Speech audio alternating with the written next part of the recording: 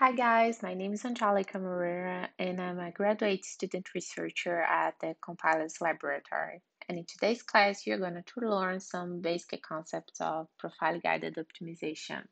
So let's dive into it, shall we? Profile guided optimization is also known by its acronym PGO. And PGO is a compiler optimization technique that collects the program's behavior in order to use this collected information as feedback for the compiler. Thus, the compiler can make better choices about how to optimize.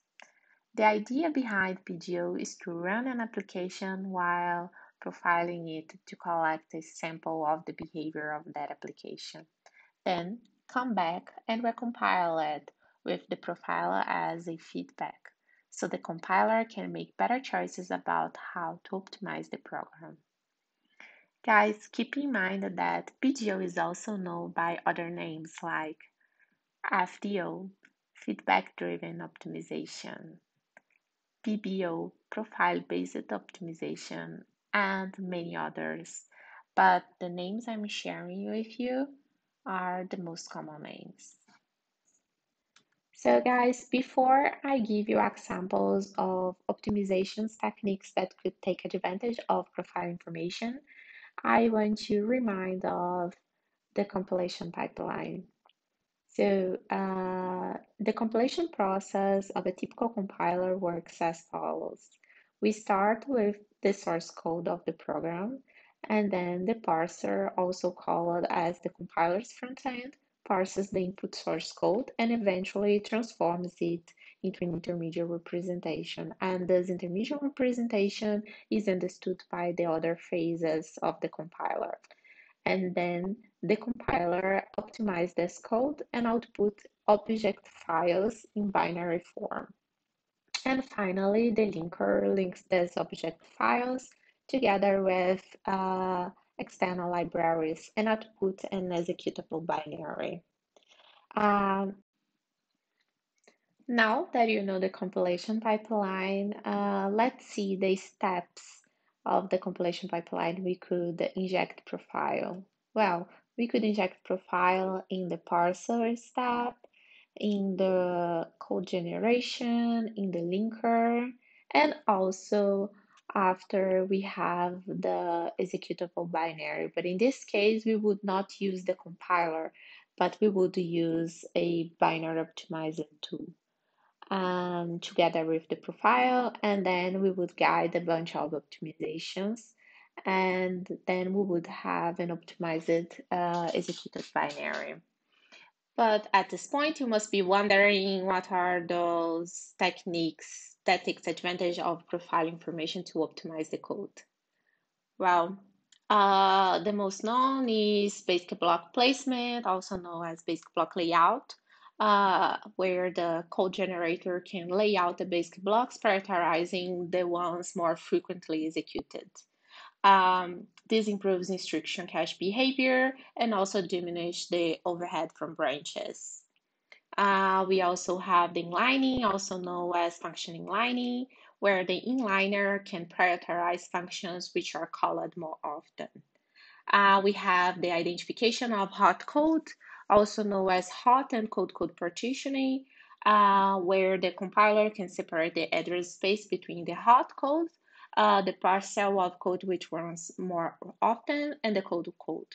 Uh, this can reduce the size of the working set and reduce the page faults.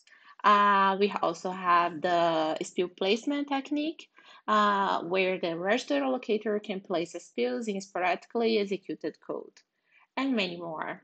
These and other optimizations can provide significant performance benefits like uh, increase of speed up and decrease of memory footprint. But what is in the profile? Well, it could have a lot of things, and the one that most people start to collect is information about the control flow.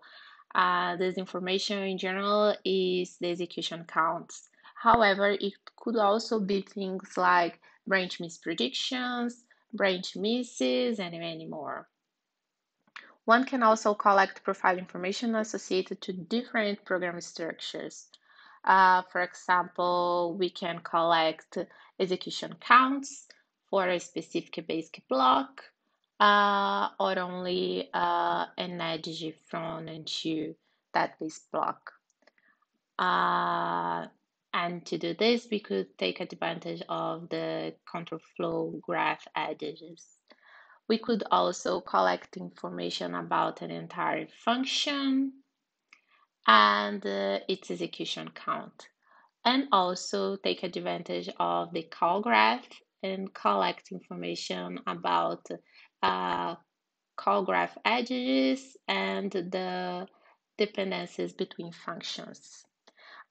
But keep in mind that the information collected will depend only on what is the end goal of the optimization being performed. There are basically two main types of profile information. The most used is dynamic profiling, where we collect profile information during the program's execution. Techniques in this category include instrumentation, where we inject additional code into the program to keep tracking of information to trace the program's behavior, and sampling, usually performed with tools uh, such as the Linux kernel perf which collects information from hardware counters by sampling a subset of program's instructions. And uh, the other type is the static profiling, which collects information about the programs during uh, the compilation pipeline in attempt to predict its runtime behavior based on its structural features.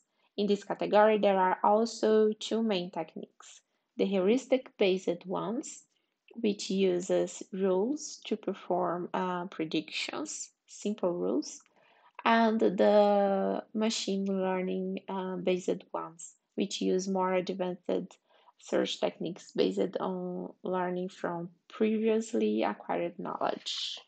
However, there is always a catch, right? And in this case, is no different. PGO is based on the assumption that you can predict the behavior of a program, while in some cases, that might be true, it's not true for every program. Therefore, there are instances where it may degrade performance instead.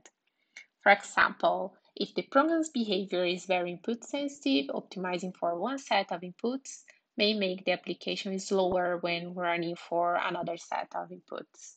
Thus, when using PGO, one must be very careful to think about training the optimizations by collecting profiles that are representative of all the different execution paths that your program typically takes. Another cat, although usually less significant, is that depending on how you apply PGO, it may involve additional steps in one's building process. Uh, and these additional steps might affect deployment cycles significantly and sometimes may add overhead.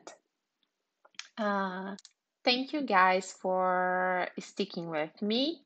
I hope you have enjoyed this class and uh, any doubts you can send me an email and uh, I hope you will watch the second part of this class.